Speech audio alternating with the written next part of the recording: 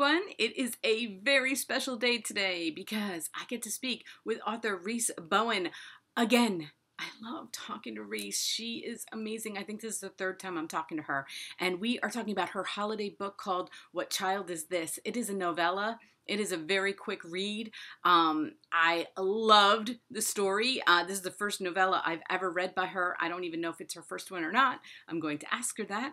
But um, if you want a really short Christmas book to read, like you have an afternoon off or something like that, go get this book. You are going to love it. Rhys is like the ultimate storyteller. It's historical fiction. It's set in London, World War II. So everybody, here is Rhys.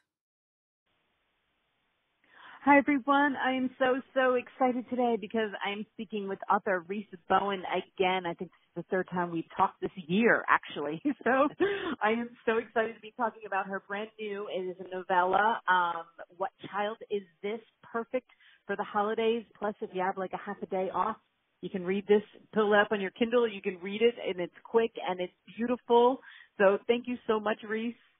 Oh, hi Michelle. It's good to be here again. Yeah. Oh, I love this story. And like you said, it's kind of like a long short story, a long short story, but yeah. it, there's a lot packed in here. I mean, it isn't, you know, I know it's 49 pages, but the story that you packed into this short story, I don't is it harder to write this for you? Um, this, this length of short story isn't hard because it is. It's like a small novel without any of the subplots and without everything else. I find a, a real short story, you know, the sort that takes 10 to 15 pages, I find that's quite challenging because you have to decide what, which moment do I come in, which moment do I reveal something, which moment do I leave, you know, so that's, I always find that's a challenge. But this, this was lovely. It was just, um, it was fun and it was nice to know that it was short and I didn't think, oh God, I've got another 150 pages to go, you know, so it was nice. Yeah, well, I think it's nice for Christmas too because, uh, like I said, if you have like a ha- sometimes it's hard during the holidays to have time to sit down to read a 300 page book. Yeah. So you know, it's kind of nice to get a little Christmas story in, and it's a feel good story, and you know, and you can then go back to whatever you were doing, and yeah. and, and if you're know. like the Icelanders, you know, the Icelanders have the whatever they call it, the Yule Book of Jólabókaflóð, where on Christmas Eve everybody gives everybody else a book, and they spend they spend the whole night in bed reading the book and eating chocolate. Doesn't that sound good? Um, yes. See, everybody could read this easily because it's only 49 pages, so they could um, they could um, you know they could get through the whole thing before Christmas morning. That's that's an awesome idea. I like that idea. And you know, I wasn't going to read it all in one sitting. I was go- I was like, no, I'm just going to start it and then I'm going to go back to it. And no, I couldn't do it. I read it in one sitting. It just it take long, and I just didn't want to yeah. stop because I wanted to see how it was going to end. So. Yeah, I think it's one of those you have to know, don't you? Yes, you just do have to know what's going to happen. And yeah. so let's just tell everybody, I mean, this setting is during the London Blitz. It's 1940 in London and you open the book with Jack and Maggie Harris. Yeah, they're a couple in the East End of London, um, a sort of a working class couple. He works on the docks. She's a homemaker, and when the when the story starts, it's in the middle of the London Blitz, and um, a bomb falls that's going to destroy their house. There's, it's an incendiary bomb. It sets the street on fire, and they're told to get out. So that, you know, they're they're essentially mirroring. You know, I wanted to mirror the, Chris, the, the Christmas nativity story. They have to flee for their lives at the beginning of the story. You know, with with Mary and Joseph having to leave their own land. So, you know, I was kind of thinking of that at the back of my mind. Mm-hmm. Uh, but also because I've written about World War II so much, I wanted the story to be in World War II, and I wanted to make people think what what it was like to go through that. What happens when you've lost everything? suddenly like that. You know, we we have the parallel with the wildfires we've had in California the last two years, where people literally have lost everything, and it's just a really sobering thought. Yeah, it it is really you know, and I think you know with how you opened it up. I mean, um, the very beginning, Maggie says it won't even feel like Christmas this year, and yeah. what she's talking about is the fact that they've I don't think it's a giveaway because it's in the first no. chapter, but yeah. you know they they've lost a child and yes. you know yeah. you don't go into much detail about that, but it doesn't matter, right? No, it just it haunts it haunts everything in their life really. The fact that their child died at Christmas time a, a couple of years before, And um, of course, you know, everything's piling up together. I mean, she is disappointed because their meat rationing coupons were not enough to get a chicken. There are, you know, everything's on short supply. There was only one chicken in the store, and it went to a bigger family than them. And so he's brought home a piece of liver, and she thinks liver on Christmas Day. Now, how could that be? How could anything be worse than that? And of course, things are worse than that as it goes along. Yes, and and what I love how you end chapter one is Maggie jumping on a train. yes, yes, yes. right, escape. Yeah. yeah, you know, I I love that because it's like she doesn't think about it. You know, she just knows the situation is really bad. It's horrible. She doesn't know what to do. She doesn't want to be where she is. She doesn't want to go yeah. back. He wants yeah. to go back. You know, she yeah. doesn't want to go back, and so she jumps on a train, and he has no choice but to follow her. Yeah, right. yeah, yeah, yeah. I think you know. Also, I think she's um down. You know, the underground uh, stations were used as bomb shelters all through the war and it's packed with people. And I think at this stage, it's just she's we know we learn that she's a country girl. She's come from a farm, and she fell in love with him and moved to London with him. But um, just overwhelming humanity around her, and obviously with the smells and the sounds and everything, on top of what she's just witnessed and what she's just gone through, it's just too much. She just has to get away, and she doesn't care where. Yeah, I, I kind of like that it was her that made that decision, and I do love his um character. I, I love it. you know, he's kind of like a comic relief in a weird. You know, he's trying to cheer her up. You know, yeah. he's the, the optimist. He's yeah. the you know, and she can't see. You know, she's just knocking him down left and right, everything. And then you know, she's like, well, somebody's gonna have to take action. That's how I looked at it. It's like, so yeah. she gets on the train. You know, like yeah. something's got to happen here.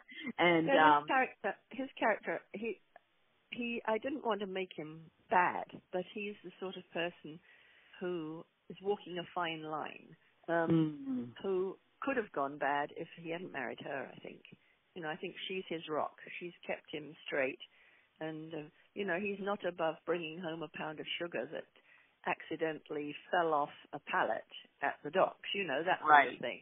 But um, right. you know, it could have been worse if she hadn't married him. I think so you know, he, he adores her. That's the one thing that's quite clear in it. He will do anything for her. Well, and I do feel, and I'm not going to spoil because it's so short, there's no, you know, but Right. it's like the fact that they both have different things that would make them happy, basically. You find Yeah. out that they both have their separate, you know, so as much as she puts him down for that, she has her weaknesses too and what she wants. And, you know, and we kind of go from there. And it was just, you know, it's, like I said, it's short and it's, it's, you wrap it up so nice and neat. And it's like, you just put it down. You're like, oh, oh, I love.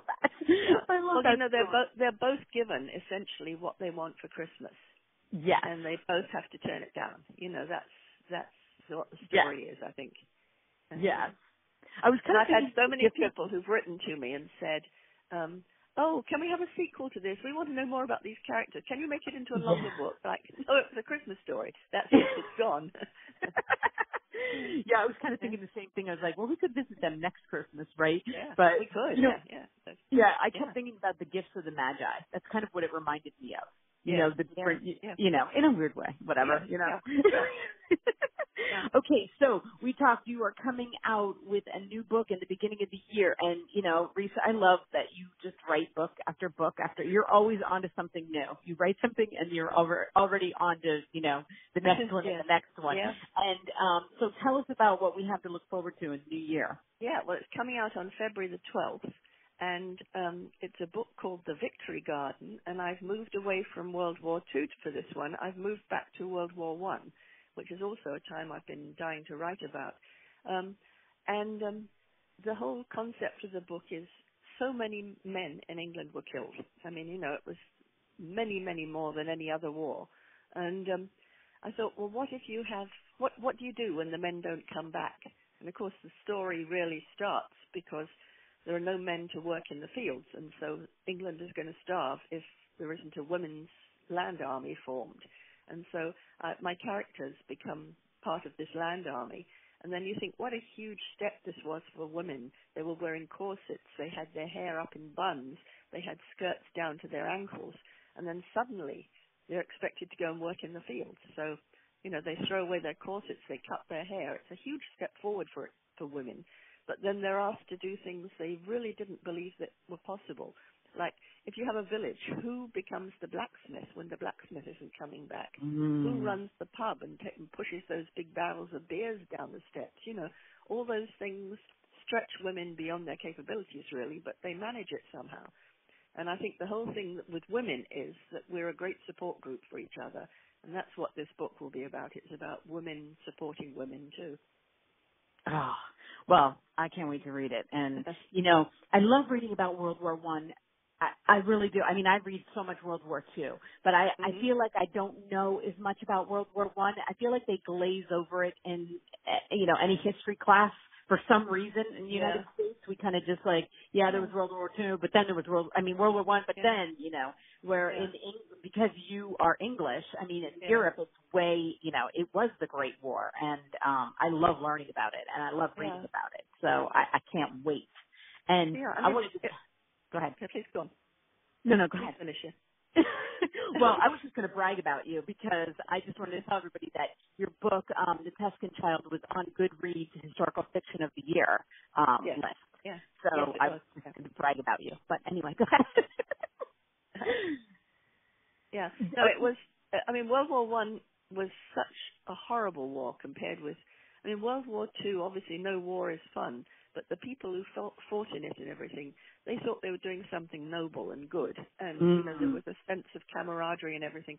World War One was nightmarish because it was fought. It was conducted by generals who'd actually been in charge of cavalry of horses, and they they played it in the same way. So they would send men over the top against tanks and mortars and gas, you know, and so we had modern weapons, but we had outdated warfare.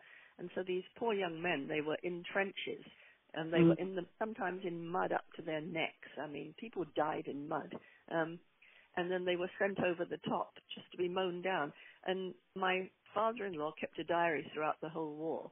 Um, and he was actually sent out to North Russia at the end. But um, and he he took daily statistics, and you'd see the number of men that were that were killed versus the number of yards they gained, and it was like several thousand for five yards. wow. And, and then the next day they'd lose that back again. It was a stupid. And the whole war was started because an Austrian archduke was shot. I mean, it made no sense. The whole war made no sense. So you know, it's it's um uh, it's interesting to write about from that point of view. Oh well, I can't wait to read it. Like I, I love all your books, but Yeah. you know, I, I I'm glad you're going back to World War One because Yeah, and of know. course it is a big romance story too. You know, there has to be, there has to be some sort of love in my books too. So there's a there's a very bittersweet romance in it that you'll like. Oh, that's awesome. Well, yes, of course. Of course there is. Well, I'm going to put the links to um to what child is this for everybody. It's on Kindle. You can go right to, you know, your Amazon and get it on your Kindle immediately and um I just, you know, thank you so much for talking with me and we we will talk again in February about this one, about the Victory Garden because I'm looking at the cover right now. I pulled it up while you were talking and Yeah. it's beautiful. What It's a cover. lovely. Yeah, Ah. no, it is it is a nice cover. I, uh, you know, I get so much input on my covers. They send me all these different pictures, and and I can actually say, well, I like this one, but how about if we make the garden more red? And you know, how about if we have this? And that it's so it's it's lovely to have control over my covers like that. I really really like it. Yeah, and of course we have the poppies in the cover, which I love because Oh yeah, we, yeah, we had have some so but Yeah, it's World War One. Yeah, Yeah, Yeah. I love that. That's Yeah. it's just, just Yeah. it's beautiful. So I Yeah. can't wait. I cannot wait to read it. Thank you so much, Rhys. You have a happy holiday.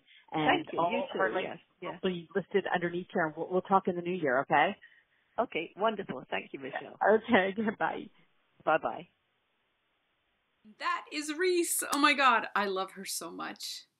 So much. And I feel really bad because I kept cutting her off because I was so excited to talk about everything. And I like wanted her, you know, I like bragging about her because she is so amazing. And uh, it was early morning for her. And sorry, Rhys, I like kept talking over you because I like wanted to get it all in.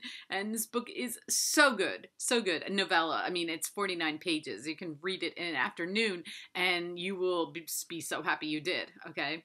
Um, book is, uh, Amazon link is listed below here. And I, I get so excited to talk to her because she is like one of my favorite writers. I mean, no one can write like her. And and like I said, like I just to keep up with her books. And I can't wait till the one coming out in February. I will be on top of it. And I you know, she's historical fiction and I love historical fiction and then, you know, she just tells the best stories. So, anyway, go read the book before Christmas. You will be happy that you did. Thank you so much, Rhys. The next time we talk, I will try not to talk so fast over you. I will I will calm down. I will control myself. Okay. So uh, hit like everybody if you like listening to Rhys. If you like listening me talk over Rhys. and subscribe, please. I put out videos every single day. Have a great day, everyone.